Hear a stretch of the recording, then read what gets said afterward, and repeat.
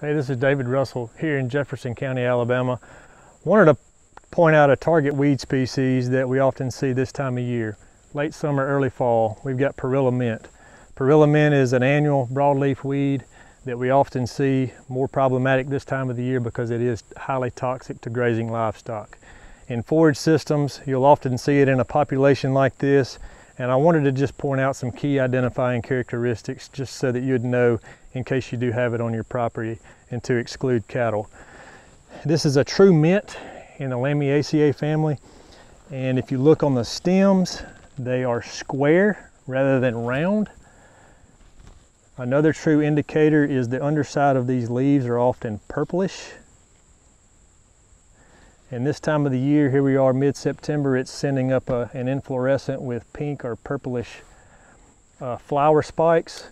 And also if you take these leaves and crush them, it'll smell just like mint.